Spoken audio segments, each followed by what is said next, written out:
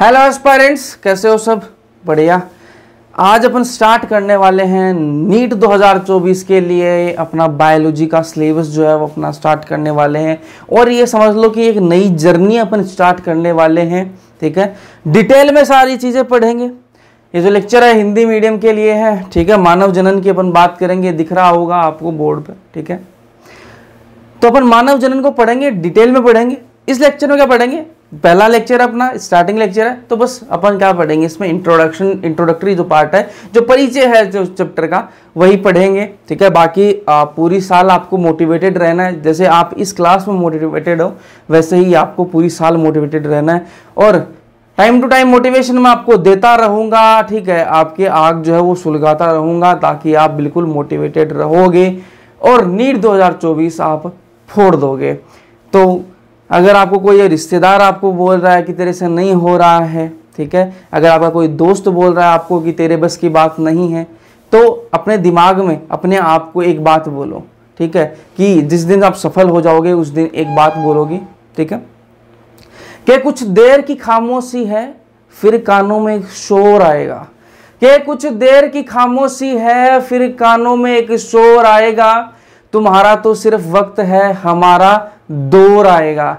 तो आपका दौर आने वाला है, ठीक है? थोड़ा सा संघर्ष आपको करना पड़ेगा, ठीक है? तो संघर्ष करने के लिए तैयार रहिए। संघर्ष कितना है? भाई, वही बस, एक साल का संघर्ष, अब अगले महीने में एग्ज़ाम आने वाला है ही।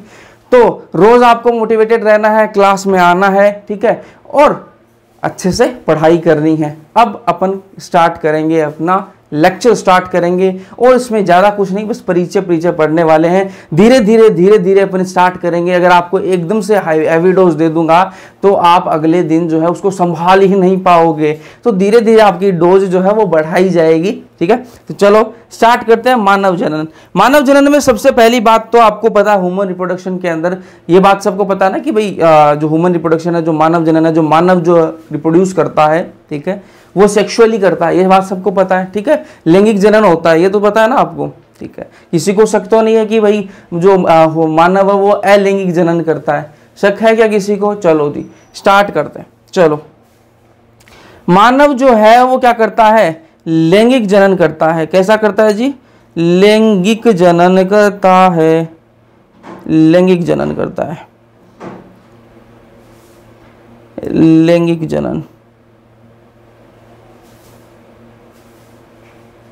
लैंगिक जनन करता है। अब लैंगिक जनन का मतलब क्या है? जी, ये लैंगिक जनन का मतलब क्या है? मतलब क्या हुआ इसका कि भाई इसमें गेमिट की ज़रूरत पड़ेगी। किसकी ज़रूरत पड़ेगी? गेमिट की, युग्मक की ज़रूरत पड़ेगी। युग्मक किसका? एक आएगा मेल से, एक आएगा फीमेल से, दोनों का मिलन कराएँगे, तभी तो बच्चा बनेगा ना। तो भाई इसमें किसकी ज़रूरत पड़ेगी? युग्मक की ज़रूरत पड़ेगी, ठीक है? लैंगिक जनन तभी तो होगा। देखो एलेंगी क्या होगा कि उसके अंदर खाली एक पेरेंट की ज़रूरत है, भाई, दो पेरेंट की ज़रूरत ही नहीं है, ठीक है? एक एक ही पेरेंट की ज़रूरत है, और वो आए, एक पेरेंट से क्या है? बच्चा बन गया नया। यहाँ पर क्या है? यहाँ पर दो चाहिए मदर फादर दो चाहिए, ठीक है? मानव के अंदर तो मदर फादर दो चाहिए, ठीक है? तो दोनों से क्या आएँगे? गेमिट आएँगे, ठीक है? तो लैंगिक जनन होता है, सबसे पहली बात तो ये होगी दूसरी बात क्या है कि भाई ये कैसे होते हैं? जरायुज होते हैं, जरायुज होते हैं। अब ये जरायुज का मतलब क्या है जी? जरायुज किसको बोलते हैं? जो बच्चा पैदा करते हैं, उनको बोलते हैं जरायुज। और जो अंडे देते हैं, उनको बोलते हैं अंडयुज। ठीक है? जो बच्चा पैदा करते हैं, उनको क्या बोलते हैं? जरायुज बोलते हैं। और जो अंडा देते हैं, उनको क्या बोलते हैं? अंडयूज बोलते हैं। इंग्लिश में भी थोड़ा सा बता दूँ मैं आपको। जरायुज को इंग्लिश में बोलते हैं जी वीवी पेरस क्या बोलते हैं? वीवी पेरस ठीक है? वीवी पेरस बोलते हैं। और अंडयूज को इंग्लिश में क्या बोलते हैं? एक बार मैं लिख के दिखा दूँ, मिटाऊँगा वापस, क्योंकि नोट्स में ये चीज़ नहीं होनी चाहिए। अंडयूज को क्या बोलते हैं? ओवी पेरस बोलते हैं। ओवी पेरस बोलते हैं। ये चीज़ मैंने आपको बता दी। ये पहले चैप्टर के अंदर ये चीज़ें हैं। क्यों नहीं किया पहला चैप्टर? क्योंकि एनसीईआरटी ने हटा दिया है। तो अपन उन, जिन चौ चैप्टर्स हटाए गए हैं, उनको अपन बाद में करेंगे, है ना? तो अंडयूज जो जो अंडे देने वाले होते हैं, उनको अंडयूज बोलते हैं। और जो बच्चा पैदा करने वाले होते हैं, उनको क्या बोलते हैं? जरायुज बोलते हैं। इतनी बात क्लियर है? चलो, कोई दिक्कत नहीं। अब इसमें मैं मिटा देता हूँ। चलो ये। ये दो बातें क्लियर है। पहली बात, लैंगिक जनन करते हैं। दूसरी बात, भाई, जरायुज है, बच्चा पैदा करते हैं। सबको पता है ये बात? ठीक बात है। चलो, अब इसमें क्या है? इसमें क्या है? दो की, मैंने कहा कि लैंगिक जनन के अंदर दो की, दो इंसान की ज़रूरत पड़ती है। दो इंसान कौन? एक मेल। एक मेल होना चाहिए, एक फीमेल होना चाहिए। मेल एक फीमेल नर और मादा दो की ज़रूरत पड़ती है। मेल समझते हो ना? मेल फीमेल तो समझते ही हो। इतनी इतनी इंग्लिश तो समझते हो ना? हाँ चलो, ठीक है। अब मेल और फीमेल तो चाहिए। मैंने एक एक शब्द और काम में लिया था, युग्मक। ठीक है, ये युग्मक क्या है? ये युग्मक क्या है? मैंने कहा कि ये युग्मक जो है, एक एक युग्मक आएगा कहाँ से? मेल से आएगा, एक आएगा फीमेल से, और दो युग्मक जब मिलेंगे, तब क्या बनेगा? जाइगोट बनेगा, युग्मनस बनेगा, उसी से क्या बच्चा बनता है, ठीक है? तो देखते हैं, चलो जी, ये लो जी भाई, देखते हैं। मेल से क्या आएगा? मेल से एक युग्मक आएगा, ठीक है? युग्मक आएगा, एक आएगा फीमेल से, युग्मक आएगा। ठीक है? दोनों को मिलाएँगे, तब क्या मिल, क्या बनेगा? बच्चा बनेगा। ठीक बात है। अब आपने बोल दिया, भाई, एक मेल से आएगा फीमेल से आएगा। तो मेल के अंदर ये युग्मक बनाता कौन है? ठीक है? उसकी प्रोसेस देखनी पड़ेगी अपन को पहले। और फीमेल के अंदर कौन बनाता है? उसकी प्रोसेस देखनी पड़ेगी। ये मैं समरी बता रहा हूँ आपको चैप्टर का परिचय दे रहा हूँ, ठीक है? पढ़ा नहीं रहा परिचय सिर्फ़, ठीक है? अब पहले इस चैप्टर में करेंगे क्या अपन? पहले ये इसका मेल का युग्मक बना लेंगे फीमेल का युग्मक बना लेंगे, ठीक है? दोनों को अलग अलग बना लिया अपन ने। उसके बाद में दोनों को मिला देंगे, ठीक है? और उसके बाद में नौ महीने की प्रेगनेंसी चलेगी, और उसके बाद में इस चैप्टर के अंदर अपन क्या करा देंगे? बच्चा पैदा करवा देंगे। तो ये सारी चीज़ें अपन इस चैप्टर के अंदर पढ़ने वाले हैं, ठीक है? अब मैं थोड़ी सी बात बता दूँ आपको कि भाई लैंगिक अंग की बात कर लेते हैं अब थोड़ी सी ठीक है? लैंगिक जनन की बात मैंने इंट्रोडक्शन आपको परिचय दे दिया, अब बात करेंगे लैंगिक अंग की बात कर लेते हैं, ठीक है? किसकी बात करेंगे? लैंगिक अंग की। जो बातें बोल रहा हूँ, ठीक है, वो लिखते जाओ दोस्त, नई नई नोटबुक नई नवेली नोटबुक आपने डाली होगी, वो बातें सारी आप लिखते जाओ, ठीक है, लैंगिक अंग की बात कर लेते हैं। लैंगिक अंग दो प्रकार के होते हैं, ठीक है, दो प्रकार के होते हैं कौन कौन से? एक होते हैं प्राथमिक लैंगिक अंग और एक होते हैं द्वितीयक लैंगिक अंग, ठीक है, एक होते हैं दोस्त प्राथमिक प्राथमिक लैंगिक अंग, ठीक है, दो प्रकार के होते हैं, एक होते हैं प्राथमिक प्राथमिक लैंगिक अंग और एक होते हैं द्वितीय लैंगिक अंग। ठीक है? अभी प्राथमिक क्या होता है और द्वितीय क्या होता है? प्राथमिक अंग कौन सा होता है? टेस्टिस वर्षण को क्या बोलते हैं? मेल। अगर आदमी की बात करूँ, मैं मेल की बात करूँ तो उसके अंदर प्राथमिक अंग कौन सा होगा? वर्षण होगा। इंग्लिश में बताऊँ तो टेस्टिस होगा। और फीमेल के अंदर कौन सा प्राथमिक अंग होता है भाई? कौन सा होता है? अंडाशय, ठीक है? इंग्लिश में ओवरी बोलते हैं जिसको। तो प्राथमिक अंग कौन से होते हैं? इसको मैं थोड़ा छोटा कर लू ना, ताकि सही से लिखा जाए ना? चलो, ठीक है? तो प्राथमिक अंग दो टाइप दो होते हैं भाई। कौन कौन से होते हैं? एक होता है आपका वर्षण वर्षण, एक होता है आपका अंडाशय अंडाशय, ठीक है? अब इनको प्राथमिक क्यों बोला है? प्राथमिक इसलिए बोला है कि अगर ये नहीं है तो फिर कुछ भी नहीं है, फिर बच्चा पैदा नहीं कर सकते, ठीक है? अगर ये चीज़ नहीं है, प्राथमिक चीज़ अगर नहीं है ना, कोई भी प्राइमरी चीज़ जो है, प्राइमरी चीज़ हमेशा इंपॉर्टेंट होती है, ठीक है? प्राइमरी, प्राथमिक चीज़ भी किसी के पास कोई भी चीज़ है, अगर वो प्राथमिक है, अगर वो ही नहीं है तो फिर तो आगे का काम बनना ही नहीं है। ये तो द्वितीयक है, ठीक है? ये तो द्वितीयक है, ठीक है? ये ना हो तो भी अपन काम चला सकते हैं, ठीक है? जनरली नहीं चलता, लेकिन फिर भी अपन उल्टी सीधी टेक्निक लगाकर चला लेंगे, ठीक है? लेकिन अगर यही नहीं है ना दोस्त, प्राथमिक अंग ही नहीं है, ठीक है? प्राथमिक लैंगिक अंग ही नहीं है तो फिर तो हो गए खत्म, टाटा, बाय बाय, है। फिर कुछ नहीं हो सकता, ठीक है? तो प्राथमिक अंग बहुत इंपॉर्टेंट है। क्यों इंपॉर्टेंट है? क्योंकि ये प्राथमिक अंग है ना, यही तो युग्मक बनाता है। यही क्या है? युग्मक बनाता है। और मैंने बताया कि युग्मक, दो युग्मक मिलते हैं, तभी तो बच्चा होता है, ठीक है? तो युग्मक बनाने के लिए आपके प्राथमिक अंग जो है, वो बहुत ही ज़्यादा इंपॉर्टेंट है, ठीक है? अब प्राथमिक अंग, मैंने आपको बताया कि दो प्रकार के होते हैं प्राथमिक अंग। एक होता है क्या? वर्षण और एक होता है अंडाशय, ठीक है? वर्षण किसके अंदर होता है? वर्षण होता है दोस्त, मेल के अंदर। मेल के अंदर क्या होता है? वर्षण होता है और फीमेल के अंदर क्या होता है? अंडाशय होता है। ठीक है? इंग्लिश के नाम भी बता दूँ। अंडाशय को इंग्लिश में बोलते हैं ओवेरी। ठीक है? और वर्षण को इंग्लिश में बोलते हैं टेस्टिस।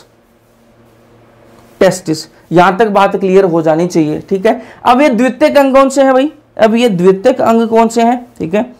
अब जो बाकी के बच गए ना द्वितीय अंग ठीक है, जो सहायक नलिकाएँ हो गई, ठीक है, और जो ऐसे डक्ट हो सहायक नलिकाएँ हो गई, और जो सहायक ग्रंथियाँ हो गई, ठीक है, बहुत सारी ग्रंथि भी आएँगे पढ़ाऊँगा मैं आपको, ठीक है तो वो सहायक जो ग्रंथियाँ हैं, ठीक है, जिनका रोल है, ठीक है, और सहायक जो वाहिकाएँ हैं, जो लेके जाएँगे मतलब ट्यूब्स है, ठीक है, ये जो युग्मक बनेंगे, ये युग्मक बनेंगे, इनको लाने, ले जाने का जो रास्ता रहेगा, जो नलिकाएँ रहेंगी, वो क्या है, द्वितीय अंग है, ठीक है जो एक्सटर्नल जेनेटेलिया हो गया, ठीक है? बाह्य जननांग हो गया, ये सारे क्या द्वितीय अंग हैं, ठीक है? चलो, अब आगे चलते हैं एक एक की बात करेंगे। पहले अपन डिटेल में पढ़ेंगे किसको? वर्षण को डिटेल में पढ़ेंगे, फिर अपन ओवरी को डिटेल में पढ़ेंगे, ठीक है? टेस्टिस को डिटेल में पढ़ेंगे, फिर क्या पढ़ेंगे अपन?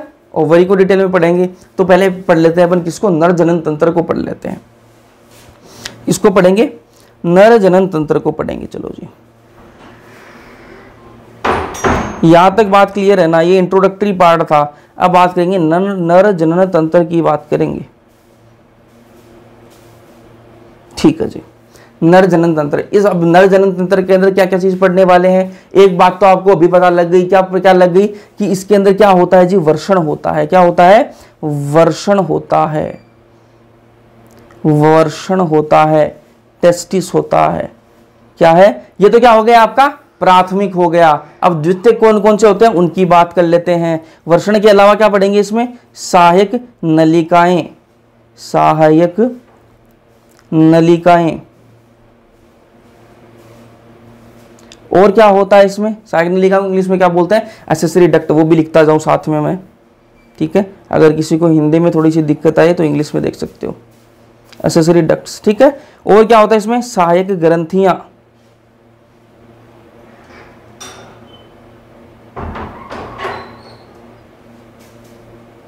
सहायक ग्रंथियाँ एसेसरी ग्लैंड्स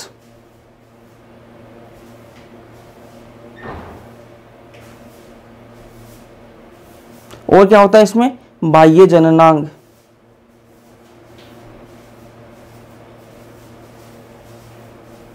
इंग्लिश में एक्सटर्नल जेनेटेलिया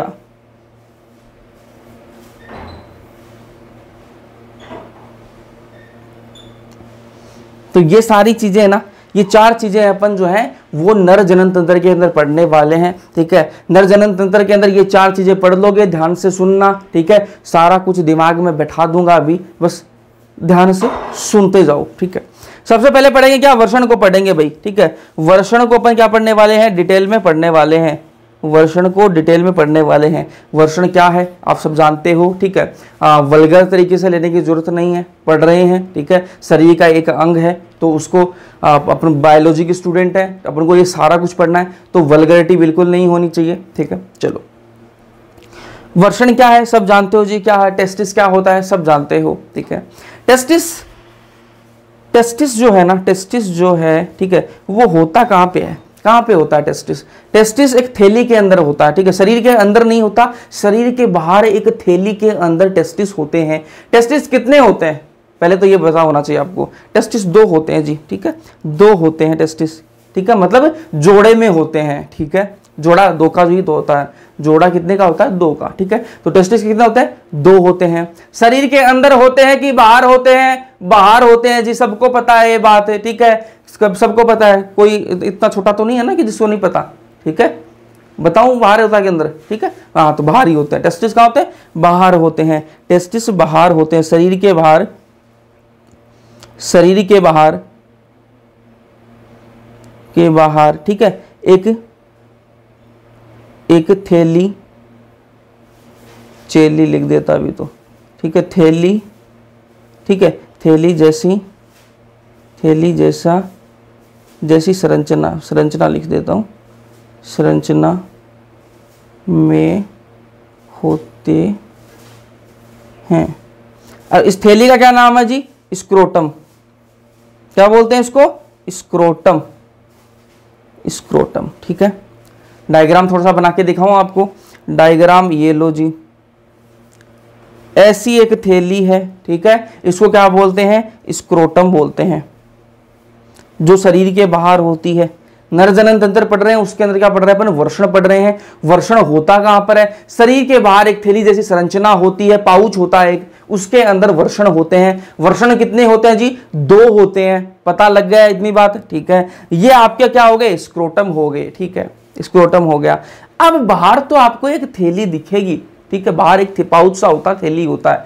लेकिन अंदर क्या होते हैं? अंदर दो और थैलियाँ होती हैं। ये जो बाहर की थैली है, इसके अंदर दो थैलियाँ और भी हैं, ठीक है? इसके अंदर दो थैली जो है, वो और भी हैं। एक थैली ये है, एक थैली ये है, ठीक है? चलो जी, इतनी बात पता लग गई, ठीक है? इनको क्या बोलेंगे जी? इनको बोलेंगे स्क्रोटल शेक स्क्रोटल सैक बोलेंगे।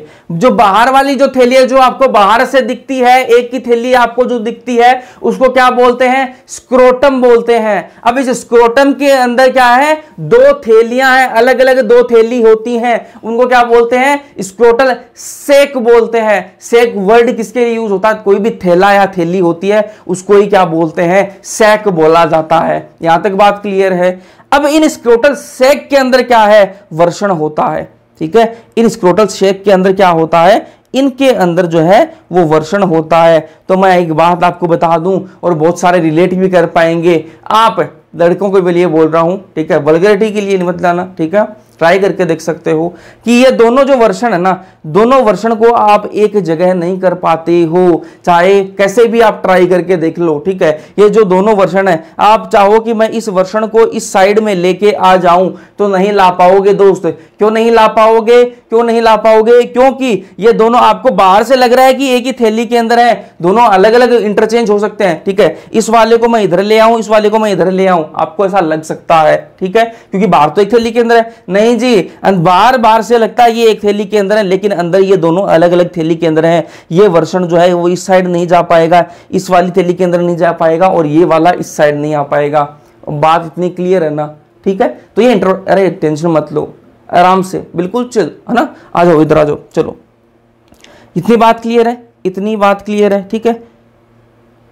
कि जो बाहर की बाहर की जो थैली है, उसको स्क्रोटम बोलते हैं। इस स्क्रोटम के अंदर दो थैलियाँ होती हैं, जिसको स्क्रोटल सेक बोलते हैं। और इसके अंदर क्या होते हैं? टेस्टिस होते हैं। क्या होते हैं? वर्षण होते हैं। बात ठीक है? चलो जी। अब देखो। टेस्टिस को और डिटेल में पढ़ाऊँगा। ये बाहरी स्ट्रक्चर बता रहा हूँ मैं आपको, ठीक है? कलर चेंज कर लूँ थोड़ा सा मैं, ताकि आपको दिखने में मज़ा आए थोड़ा सा, ठीक है? यहाँ से क्या निकलेगा? यहाँ से निकलेगा क्या? इपीडिडाइमिस अधिवर्षण। क्या निकलेगा जी? अधिवर्षण। ठीक है? वो आगे बताऊँगा क्या होता है। अधिवर्षण। ठीक है? ये अधिवर्षण आ गया। ठीक है जी? आ गया जी। अब अधिवर्षण क्या है? फिर क्या है? जा, कहाँ जाएगा? शुक्रवाहक। ठीक है? Vas deferens. ये अधिवर्षण है और ये यहाँ से जाएगा ऊपर की तरफ़ जाएगा। ठीक है?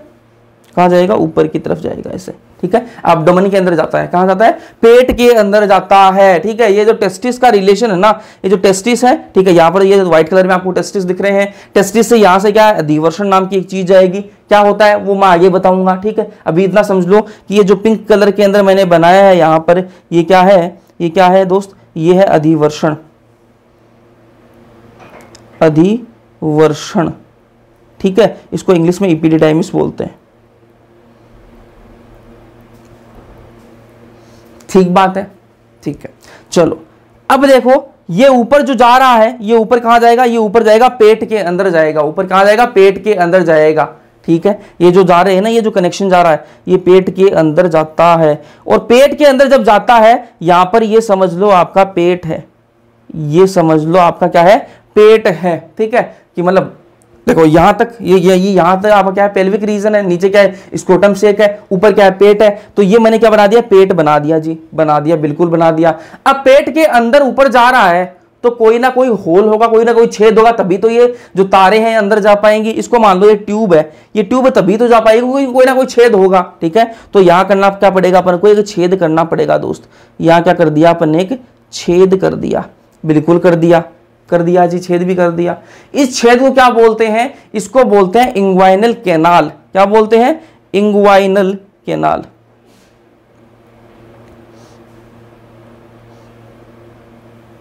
इंग्वाइनल कैनाल कहा जाता है इसको, ठीक है?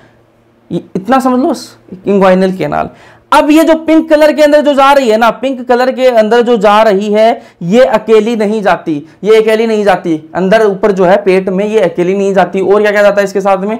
कुछ आ, जो कुछ जो है नसें भी जाएँगी कुछ जो रक्तवाहिकाएँ हैं वो जाएँगी कुछ नर्व्स हैं जो है वो जाएँगी। और कुछ क्या है? एक मसल और जाती है। एक क्या है? एक पेशी भी जाती है जिसको क्या बोलते हैं? हिंदी में तो उसको शमशान पेशी बोलते हैं इंग्लिश में उसको बोलते हैं क्रीमेस्टर मसल कहा जाता है। ठीक है? उसका रोल होता है। ठीक ठीक है? तो ये जो है ना, ये जो पिंक कलर में दिख रही है आपको, ये कुछ तारों का बंडल सा जाता है, ठीक है? कुछ तारों का ये एक बंडल सा जाता है, ठीक है? ये क्या है? एक तो क्या हो गया आपका वास्ट डिफरेंस हो गया, ठीक है? शुक्रवाहक हो गया, और क्या हो गया? इसके अंदर शुक्रवाहिक नलिकाएँ होगी ठीक है?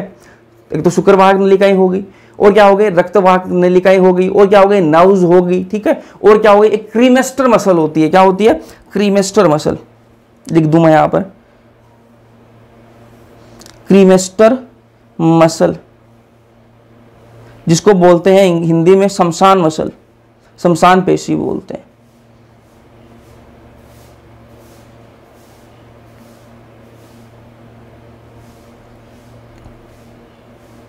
ठीक है? तो ये शमशान जो पेशी है, इसका काम क्या है? इसका काम क्या है? आपने एक चीज़ नोटिस की होगी, जब सर्दी होती है, जब सर्दी होती है, तब ये जो स्क्रोटम है, ये बिल्कुल पेट के पास आ जाता है, ऊपर की तरफ़ आ जाता है, ठीक है? और जब गर्मी होती है तो ये जो स्क्रोटम है, ये नीचे थैली की तरह लटकने लग जाता है है? लड़के इस बात से रिलेट करेंगे कि जब सर्दी का टाइम होता है, जब ठंड होती है, तब स्क्रोटम जो है, ये जो थैली जो है ना, ये ऊपर की तरफ़ आ जाती है, बिल्कुल पेट के पास में चिपक जाती है, ठीक है? ऊपर की तरफ़ आ जाती है, और जब गर्मी आती है, जब गर्मी लगती है तब क्या है? ये नीचे लटकने लग जाती है। रीजन क्या है भाई? ठीक है, ये ऊपर नीचे कौन करता है इसको? ये जो थैली को, जब सर्दी आएगी, थैली को ऊपर कौन करेगा? और नीचे कौन लेके जाएगा? यही तो लेके जाती है। ये जो मसल है ना, क्रीमेस्टर मसल, यही लेकर जाती है इस थैली को ऊपर नीचे करने का काम किसका है? इस थैली का काम है जी। ठीक है तो इसके अंदर ये जो बंडल जा रहा है ना, ये जो बंडल जा रहा है पेट के अंदर, इनमें से एक कौन सी मसल है? शमशान पेशी भी है, क्रीमेस्टर मसल भी है। ठीक है, अब एक चीज़ और बताऊँ मैं आपको। कि अगर आप जिम विम आप जाते हो, ठीक है? अगर आप जिम विम जाते हो या फिर आपने देखा होगा वेट लिफ्टिंग देखी होगी आपने, ठीक है? जो वैसे वज़न उठाते हैं, ठीक है? ठीक है तो वो क्या करते हैं, यहाँ पर बेल्ट बाँध देते हैं। जिम के अंदर क्या है? पेट पर बेल्ट बाँध के और उसके बाद में ही क्या है, वो वज़न उठाते हैं, ठीक है? अगर ऐसे आपने वज़न उठा लिया अपनी क्षमता से ज़्यादा, ठीक है? अपनी औकात से ज़्यादा अगर वज़न उठा लिया आपने तो क्या होगा?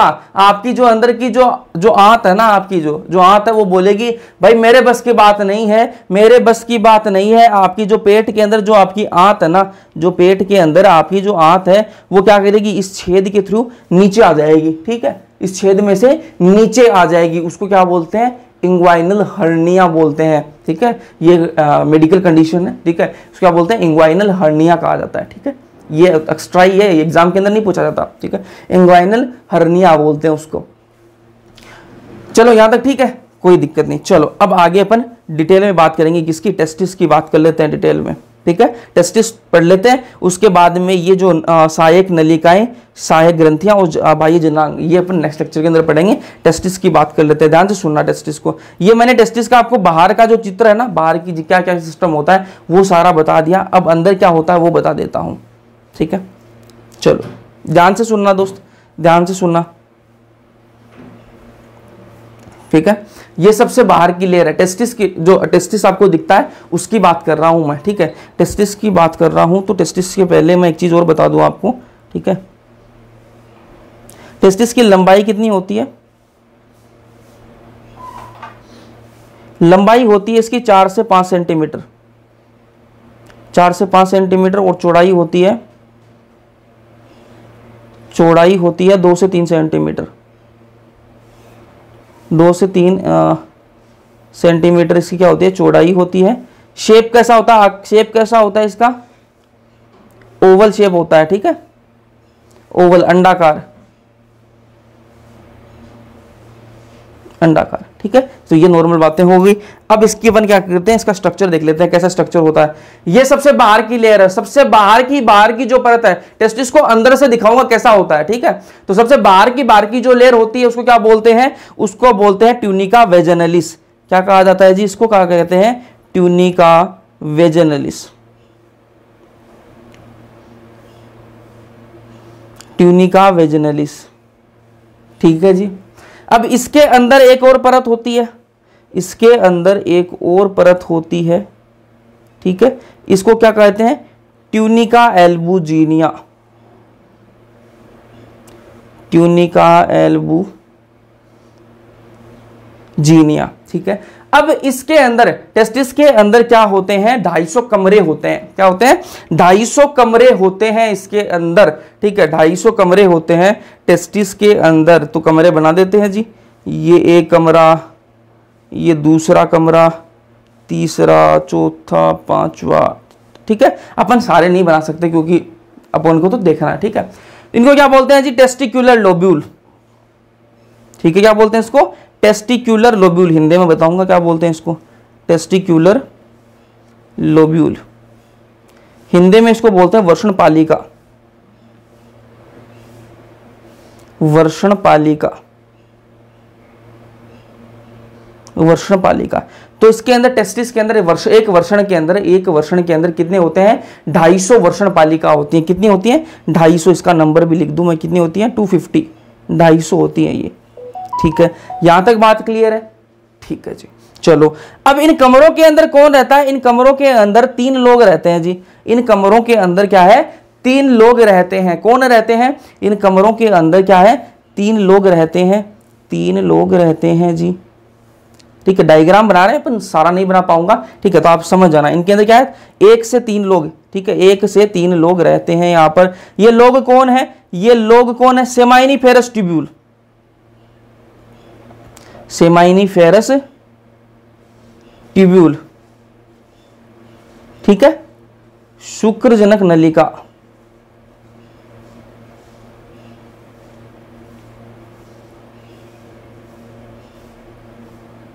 शुक्रजनक नलिका, ठीक है? इसके अंदर रहती है। अब क्या होगा? अब क्या होगा? यहाँ से निकलेंगी कुछ पाइप, ठीक है? यहाँ से क्या निकलेंगी? कुछ पाइप निकलेंगी। छोटी छोटी क्या निकलेंगी? पाइप कलर चेंज कर लूँ। कुछ छोटी छोटी पाइप निकलेंगी, ठीक है? यहाँ से क्या निकलेंगी? छोटी छोटी पाइप निकलेंगी।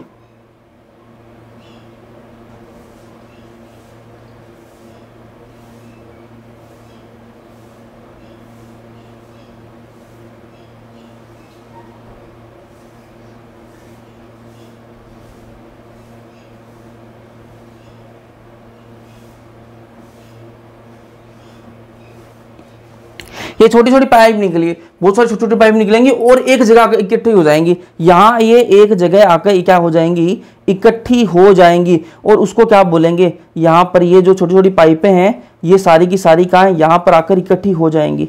ऐसे क्या है? यहाँ पर आकर क्या है? ये इकट्ठी हो जाएँगी दोस्त। ठीक है, इसको क्या बोलेंगे? वर्षण जाल बोलेंगे। ठीक है, वो जाल सा बना लेंगी। इसको क्या बोलते हैं? वर्षण जाल। वर्षण जाल। ठीक है दिक्कत आ रही है मैं बताऊँगा अभी आपको, ठीक है? इंग्लिश में बोलते हैं इसको रेटेटेस्टिस रेटेटेस्टिस ठीक है? ठीक है? मैंने अभी तक क्या बताया आपको? क्या बताया मैंने अभी आपको? ठीक है? ये किसका डायग्राम बता रहा हूँ मैं आपको? टेस्टिस का डायग्राम बता रहा हूँ, ठीक है? सबसे जो बाहर की बाहर की परत होती है टेस्टिस की, वो क्या होती है? ट्यूनिका वेजनलिस होती है। बात क्लियर है, ठीक है? और उसके अंदर जो लेयर होती है, उसका नाम होता है ट्यूनिका एल्बुजीनिया बात क्लियर है, ठीक है? उसके बाद में इसके अंदर क्या है? 250 कमरे हैं। 250 कमरे हैं। उन कमरों क्या बोलते हैं? टेस्टिक्यूलर लोब्यूल हिंदी में बोलते हैं वर्षण पालिका बोलते हैं। कितने होते हैं जी? 250 होती हैं ये, ठीक है? अब इन कमरों के अंदर एक से तीन लोग रहते हैं। कौन रहते हैं? एक से तीन लोग रहते हैं। या तो एक या फिर तीन मान के चलो। तीन लोग रहते हैं जिनका नाम क्या है? Seminiferous tubule. इन कमरों के अंदर क्या रहते हैं? सेमाइनी फेरस ट्यूब्यूल रहते हैं। शुक्रजनक नलिका रहती है। कितनी होती है? एक से तीन। लिख दू यहाँ पर। कितनी होती है ये? एक से तीन होती हैं ठीक है? चलो अब क्या है? ये जो जो आपकी सेमाइनी फेरस ट्यूबुलर जो शुक्रजनक नलिका है, इनसे निकलेंगी छोटी छोटी पाइप। क्या निकलेंगी? छोटी छोटी पाइप निकलेंगी। ठीक है, ये जो स्काई ब्लू कलर के अंदर आपको दिख रही है, ये छोटी छोटी पाइप निकलेंगी और आके एक जगह इकट्ठी हो जाएँगी। ठीक है, एक जगह क्या होकर जाएँगी? इकट्ठी हो जाएँगी। इकट्ठी हुई और यहाँ पर क्या बन गया? बहुत सारी पाइप अगर एक जगह इकट्ठी हो जाएँगी तो जो जाल सा बन जाएगा ना जंजाल सा बन जाएगा। तो यहाँ पर ये क्या बन गया? जाल सा बन गया। ठीक है, इस जाल को क्या बोलते हैं? वर्षण जाल बोलते हैं। क्या बोलते हैं? वर्षण जाल बोलते हैं। इंग्लिश में क्या बोलते हैं इसको? रेटिटेस्टिस को कहा जाता है। यहाँ तक बात क्लियर है? ठीक है। चलो, अब आगे चलते हैं डायग्राम के, ठीक है? अब ये जो वर्षण जाल है ना, ये जो वर्षण जाल है, ठीक है, ये किसमें खुलता है? ये पूरा जाल जो है, ये खुलता है एक बड़ी पाइप के अंदर। ये खुलता है दोस्त, एक बड़ी पाइप के अंदर खुलेगा। ठीक है? ये खुलेगा एक बड़ी पाइप के अंदर। इस बड़ी पाइप का नाम क्या है? इस बड़ी पाइप को बोलते हैं वास एफरेंसिया। क्या बोलते हैं इसको? वास एफरेंसिया। हिंदी में बताऊँगा। वास एफरेंसिया। इस बड़ी पाए को क्या बोलेंगे? वास एफरेंसिया। हिंदी में इसको बोलेंगे शुक्रवाहिका। क्या बोलेंगे जी? शुक्रवाहिका। ठीक बात है। अब ये जो शुक्रवाहिका है ना, ये जो बड़ी पाइप है, ये किसमें खुलेगी? ये खुलेगी एक कोइल्ड पार्ट में। कोइल्ड पार्ट मतलब ऐसा एक ना कुंडलित भाग होगा ना कुंडलित नलिका होगी एकदम से। तो दिखाऊँ मैं आपको कैसी होगी? ऐसे एकदम से कुंडलित होगी बिल्कुल, ठीक है? कोइल्ड पार्ट होगा। इसको क्या बोलेंगे? अधिवर्षण। क्या बोलेंगे? अधिवर्षण कहा जाएगा इसको, ठीक है? अधिवर्षण। अधिवर्षण को इंग्लिश में क्या बोलते हैं जी? इपीडिडाइमिस बोलते हैं। इपीडिडाइमिस इपीडिडाइमिस ठीक बात है। अब ये इपीडिडाइमिस जो है, अधिवर्षण जो है, इसके अंदर होते हैं तीन पार्ट। ठीक है, क्या होते हैं? कोर्पस कैपट और कोडा ठीक है? ना याद रखो तो भी कोई दिक्कत नहीं है। अब इस अधिवर्षण के बाद में कौन सी पाइप आएगी जी? इसके बाद में भी एक पाइप आती है जो ऊपर की तरफ़ जाती है, ठीक है? उस पाइप का क्या नाम है? उस पाइप का नाम है शुक्रवाहक। क्या नाम है? शुक्रवाहक। शुक्रवाहक। ठीक है, इंग्लिश में इसको बोलते हैं वास डेफरेंस। Vas deferens. ठीक है? जो कि मैंने आपको वास डेफरेंस यहाँ पर बताया था। ये मैंने यहाँ पर आपको बताया था कि वास डेफरेंस जो है, वो ऊपर पेट में जाता है। ठीक है? यहाँ तक बात क्लियर है? ठीक है? डायग्राम एक बार मैं वापस से समअप कर दूँ। क्या क्या मैंने आपको बताया? ठीक है? ये टेस्टिस का डायग्राम है। ठीक है? टेस्टिस का जो पहली, जो ऊपर ऊपर की जो परत है, सबसे बाहर की जो परत है, वर्षण की जो बाहर की परत है, उसको क्या बोलते हैं? उसको बोलते हैं जी टेट्यूनिका वेजनलिस ठीक है? उसके बाद में जो अंदर की परत है, उसको बोलते हैं ट्यूनिका एल्बुजीनिया। ठीक है? अब इसके अंदर होते हैं 250 कमरे। 250 कमरों का नाम क्या है? टेस्टिक्यूलर लोब्यूल या फिर वर्षण पालिका बोलते हैं, और ये कितने होते हैं? 250 होते हैं। अब इन 250 कमरों के अंदर एक एक कमरे के अंदर एक से तीन, एक से तीन कौन रहते हैं? शुक्रजनक नलिका रहती है, सेमाइनिफेरस ट्यूब्यूल रहती है। अब ये एक से तीन है, यहाँ से क्या निकलेंगी? छोटी छोटी पाइप निकलेंगी। छोटी छोटी क्या निकलेंगी? पाइप निकलेंगी, और वो एक जगह आकर यहाँ पर क्या हो जाएँगी? इकट्ठी हो जाएँगी। जहाँ पर वो इकट्ठी होंगी, वहाँ पर एक जाल सा बन जाएगा। उस जाल को क्या बोलेंगे? वर्षण जाल कहा जाएगा। और वर्षण जाल को इंग्लिश में बोलते हैं रेटिटेस्टिस। क्या बोलते हैं? रेटिटेस्टिस। अब ये जो जाल है ना, जो छोटी छोटी पाइपें हैं, ये एक बड़े पाइप के अंदर खुलेंगी, बड़े पाइप के अंदर खुलेंगी। और ये बड़ा पाइप क्या है? शुक्रवाहिका। क्या नाम है इसका? शुक्रवाहिका। इंग्लिश में बोलते हैं वास एफरेंसिया। ठीक है? अब ये शुक्रवाहिका जो है, ये खुलेगी एक कुंडलित पाइप के अंदर। ठीक है? जो जो एकदम से मतलब ऐसे टेडी मेडी, ठीक है, ऐसे जैसे वो पहले फ़ोन चलता था ना टेलीफोन चलता था, उसकी जो वायर थी, वो जैसे कुंडलित होती थी, वैसा है। ठीक है, ये क्या है? ये जो आपकी जो कुंडलित जो पाइप है, इसको क्या बोलते हैं? अधिवर्षण बोलते हैं। क्या बोलते हैं? अधिवर्षण बोलते हैं इंग्लिश में इसको वास सॉरी इपीडिडाइमिस बोलते हैं। इंग्लिश में क्या बोलते हैं इसको? इपीडिडाइमिस अब ये जो इपीडिडाइमिस है, ये खुलेगी एक बड़े पाइप के अंदर। उस पाइप का नाम क्या होगा? शुक्रवाहक इंग्लिश में, जिसको वास डेफरेंस कहा जाता है। और ये ऊपर चला जाएगा। तो मैंने आपको बताया कि क्या होती है कि भाई प्राथमिक जो अंग है, वो क्या होता है? प्राथमिक लैंगिक अंग क्या होता है? वर्षण होता है। ठीक है? और उसके साथ में क्या होती है? सहायक नलिकाएँ होती हैं कुछ और कुछ क्या होते हैं? सहायक ग्रंथियाँ होती हैं और भाई ये जननांग होते हैं। अपन ने टेस्टिस की बात कर ली है इस लेक्चर के अंदर। एक चीज़ और बता दूँ, एक चीज़ और बता दूँ कि ये जो टेस्टिस जो है, इनको स्क्रोटम के अंदर क्यों रखा जाता है? बाहर थैली के अंदर क्यों रखा जाता है? क्यों नहीं इनको पेट के अंदर रख दिया? पेट के अंदर क्यों नहीं रख दिया? इनको बाहर रखने की ज़रूरत क्या पड़ी? ज़रूरत ये पड़ी भाई, ज़रूरत ये पड़ी क्योंकि, ठीक है, क्योंकि स्पम फॉर्मेशन के लिए शुक्राणु शुक्राणु बनाने के लिए, शुक्राणु बनाने के लिए, शुक्राणु बनाने के लिए, बनाने के लिए शरीर से, शरीर के तापमान से, शरीर के तापमान से दो से ढाई डिग्री सेल्सियस तापमान कम होना चाहिए।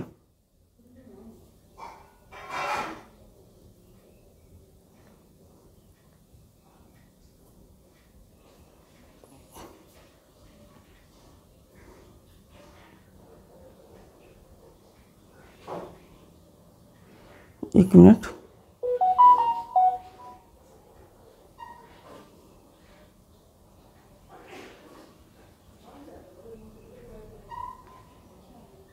चलो।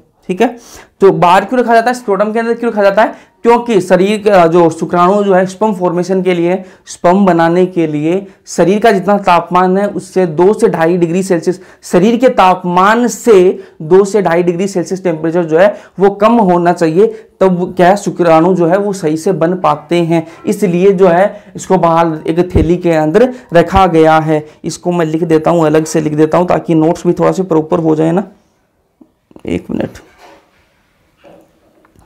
ये चीज़ें मैं एक मिनट जस्ट ए मिनट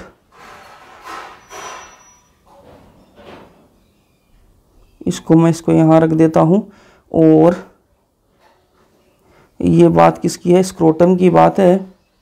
तो इसको मैं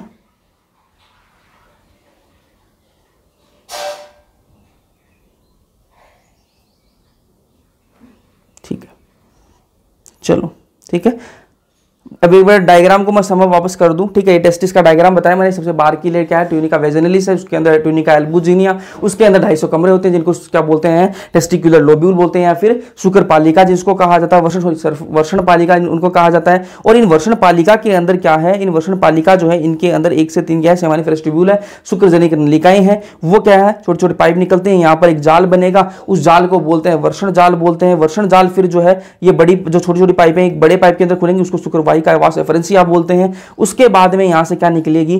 ठीक है, यहाँ से कुंडलित पाइप होती है, जिसको अधिवर्षण या फिर इपीडीडेमिस कहा जाता है। ये इपीडीडेमिस जो वो किसमें खुलेगी? शुक्र वाहक में खुलेगी वास डिफरेंस के अंदर खुलेगी। यहाँ तक बात क्लियर है? यहाँ तक बात क्लियर है। मतलब अपन ने क्या पढ़ लिया? नर जनन तंत्र के अंदर नर जनन तंत्र के अंदर अपन ने वर्षण की बात डिटेल के अंदर कर चुके हैं। ठीक है? नर जनन तंत्र के अंदर अपन वर्षण की बात डिटेल में कर चुके हैं। अब अपन को क्या पढ़ना है? सहायक नलिकाएँ पढ़नी है अपन को, सहायक ग्रंथियाँ पढ़नी है और बाह्य जननांग पढ़ना है। और एक बात आपको बताऊँ मैं, ठीक है? अपन सहायक नलिकाएँ भी पढ़ चुके हैं। कैसे कहाँ पढ़ी भाई? कहाँ पढ़ी? यहाँ पर जी अपन ने। ये जो है ना आपकी शुक्रवाहिका ठीक है? इपीडिडाइमिस अधिवर्षण ठीक है? शुक्रवाहिक यही तो क्या है? सहायक नलिकाएँ हैं ठीक है? तो ये भी अपन पढ़ चुके हैं। बाकी की बातें जो है आगे की जो बातें हैं सहायक जो ग्रंथियाँ हैं और बाह्य जो जननांग है वो अपन करेंगे नेक्स्ट लेक्चर के अंदर। इस लेक्चर में इतना बहुत है ठीक है? और अच्छे से आ, समझना यार ध्यान लगाकर समझना ठीक है? जहाँ समझ में ना आए डाउट जो भी हो टेलीग्राम ग्रुप है अपना वहाँ पर पूछ सकते हो, आपका डाउट जो है वो प्रॉपर सॉल्व हो जाएगा। बाकी इस लेक्चर में इतना ही पढ़ेंगे। वीडियो पसंद आए तो लाइक कर देना। चैनल को सब्सक्राइब किए हो, बिना, किए बिना देख रहे हो तो चैनल को सब्सक्राइब कर लेना। कमेंट सेक्शन में मुझे सबके नाम दिखने चाहिए, ठीक है? जो रियल नेम है, वो सबके नाम मुझे कमेंट सेक्शन में दिखने चाहिए। और आज तो मैं रोल नंबर दे दूँगा, बाकी आज आज आप सब अपने अपने नाम लिखना, ठीक है? अटेंडेंस यही है आपकी, ठीक है? और बाकी मिलते हैं नेक्स्ट लेक्चर के अंदर। तब तक के लिए पढ़ते रहो।